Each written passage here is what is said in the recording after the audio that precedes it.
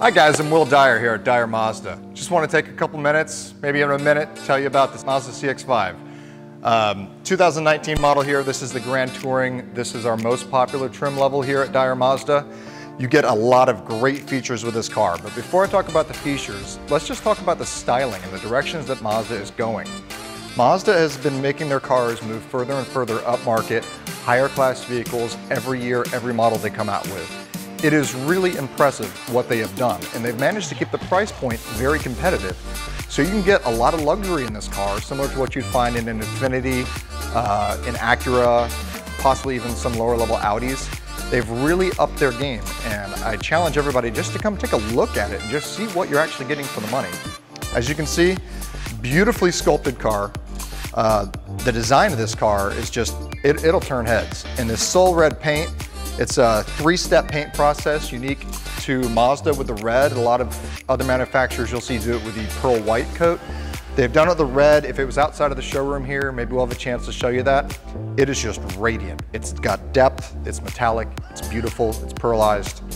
Now, as far as some of the premium features that I'm talking about, this car has uh, distance following cruise control, just on the touring model. You don't have to get every last bell and whistle to get these features. Um, what this does is it'll set a distance to the car in front of you, drive down the interstate, and even around town, if you want to use it, you can, because it'll go down to a full, complete stop.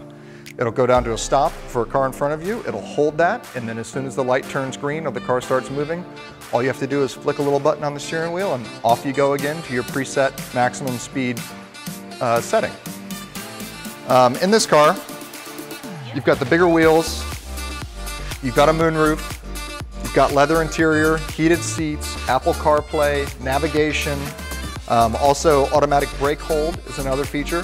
So sometimes if you're at a long light and you've got your foot on the brake and you're just sitting there, your car's still in drive and you're just sitting waiting waiting waiting, something simple like that, you can just take your foot off the brake and the car will sit there and wait for you. It's got an automatic brake hold on it, which is a little thing, but I tell you, when you drive with it every day, it's actually quite nice. It just makes the whole driving experience just a little more relaxed for you as the driver.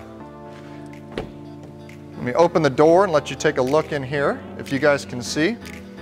The, uh, the Mazda trim work on the interior is really where this car shines. You can see it on the outside as they drive down the road, but to really look inside, you've got beautiful stitching, you've got perforated seats, you've got the dark wood trim and metal accents. You've got the leather stitching on the door panels. You've got a black lacquer finish on all the um, different surrounds inside.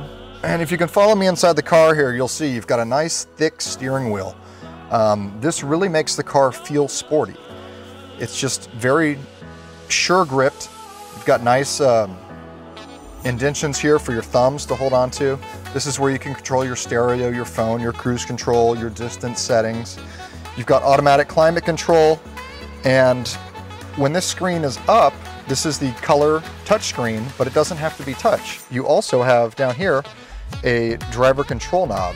Uh, if any of you are familiar with Audi, they started this about, oh, uh, maybe even 10 years ago, where it's almost like a joystick or a mouse button that you have down here. And you can access your home screen, your music, your navigation, go back, your stereo volume is done right here as is your parking brake and your auto hold feature for your uh, stop waiting at stoplights. You've got memory seats, you've got a moonroof, you've got a Bose sound system. The attention to detail in this car really is fantastic. This is Mazda's most popular model and the Grand Touring trim is our most popular trim. Back seat, luxury as well. Same leather stitching, all in the inside, on the door panels, on the top. You've got rear air, as that's important in Florida. You got the vents straight on your rear seat. Coming around back, you still have the um, excellent Mazda styling with just really intricate details, even here in things as simple as the tail lights. Just the way that the body metal flows, uh, power tailgate. We know that's important to everybody these days. Great big storage area. Mazda CX-5 does compete in the segment with a uh, Nissan Rogue, a Toyota RAV4, a Honda CRV, and it definitely does not short out on the space. It's got plenty of room to do what you want to do. All the seats will fold flat. You've got three different ways to configure it. You can fold them all flat. If you've got something just long in the middle, you can send something there, you know, for all those snow, snow skis you ride around with in Florida. I don't know, maybe a surfboard, whatever you can fit in there. Now this being the Grand Touring, as I mentioned, is not the absolute trim top trim level you can get on a CX-5. New for 2019, they have a Grand Touring Reserve and a Grand Touring Signature. Both of those come with a turbocharged 2.5 liter engine, which brings extra acceleration, extra sport to an already sporty SUV. A lot of people may ask, why do you want a sporty SUV? An SUV is not typically a sporty car. If you want a sports car, get a sports car. Well, we all like to have the extra room that an SUV has. And a lot of manufacturers leave out the the, the tight handling, the responsiveness of an SUV because your center of gravity goes up, it becomes a little more tippy. Um, Mazda has really figured out how to blend those two together. And yes, I realize you're probably not going around a racetrack in your CX-5 and admiring the handling from that aspect, but if something comes out in front of you and you have to make an evasive maneuver and swerve, the other day, driving my kids to school, somebody came straight out into the road and I had to go over one lane and back quickly, a quick zigzag. And I'm not in a race car, but I certainly appreciate the sure-footedness that that provides me, that I was able to safely do that and get out of the way without being a threat to rolling the vehicle or becoming loose handling that could endanger others. It's always good to have a vehicle that handles well, no matter what type of vehicle it is. That is a safety feature in and of itself. Also blind spot monitoring, uh, which was useful because trust me, before I did that, I made sure there was nobody in my blind spot. I was focused on the car pulling out in front of me. I didn't have time to turn my head and make absolutely clear there was nobody there. So a quick glance to the mirror let me know that I could evasively swerve out of the way. It was great. My kids in the back were, whoa, dad, what did you do? What happened? What happened? Well, we just avoided a wreck safely, thankfully. So it was a surprise to us all and the car handled fantastically.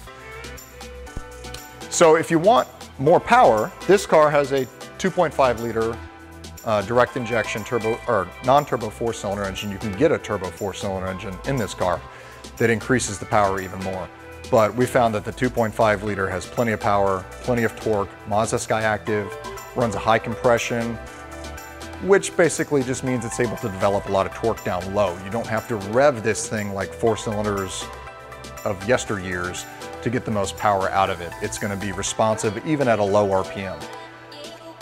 If you like this styling, but you want even more sport, I'm just gonna shift your attention over here to the Mazda 6. Uh, also has been updated for 2019.